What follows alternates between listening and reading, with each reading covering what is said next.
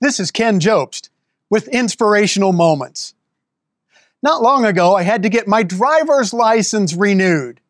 So I go into the Bureau of Motor Vehicles and stand in line. And while I'm standing in line, I looked around at the walls, and there on the wall is a framed photograph of the governor.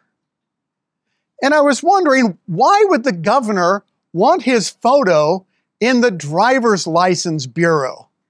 Well, I got to thinking about it.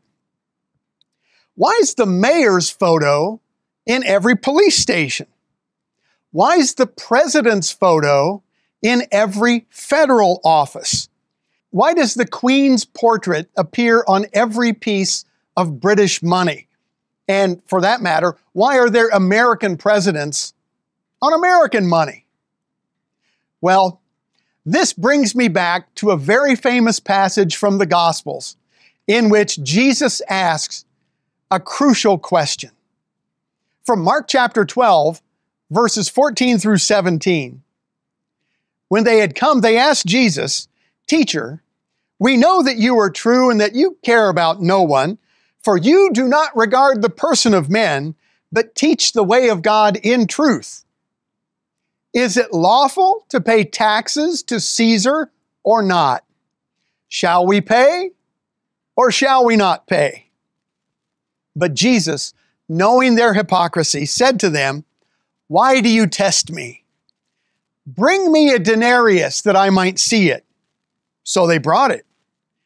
And he said to them, Whose image and inscription is this? They said to him, Caesar's. And Jesus answered and said to them, Render unto Caesar the things that are Caesar's, and to God the things that are God's. Well, Genesis, the very first book of the Bible, tells us that we were made in the image of God. Watch from Genesis chapter 1, the very first chapter of the Bible, verses 26 and 27. Then God said, Let us make man in our image, according to our likeness let them have dominion over the fish of the sea, over the birds of the air, over the cattle, over the earth, and every creeping thing that creeps on the earth. So God created man in his own image. In the image of God, he created him. Male and female, he created them. Now, it's an interesting thing about this being created in the image of God being made in God's image is part of God's representational rule over creation. This is the principle that holds this. It says that the rule of the sovereign extends to wherever the sovereign's image is found, be it a photo in an office or a portrait on a piece of money. You see, in the ancient Near East, images or statues of idols were placed in the idol's temple in order to remind those in attendance that the idols rule that place.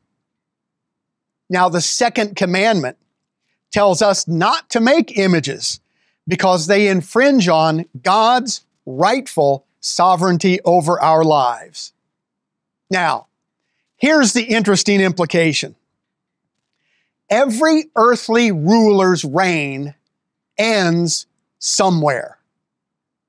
My American money with American president images on it, it won't spend in Canada. It won't spend in, in Brazil, right? The president's authority stops at the Canadian border. Premier Xi Jinping's authority stops at the Russian border. He's the premier of China. He has no say in what goes on in Russia. However, wherever you see a human being who is made in the image of God, you're looking at the realm of God's sovereignty. Whenever you see another person, no matter how grand or how humble, be reminded that God is still on the throne of heaven. That's what representational rule means. It means when the image is there, know that the sovereign is there. When you see another person made in the image of God, know that God's rule extends to that place. So, bearing the image of God is a defining characteristic of what it means to be human.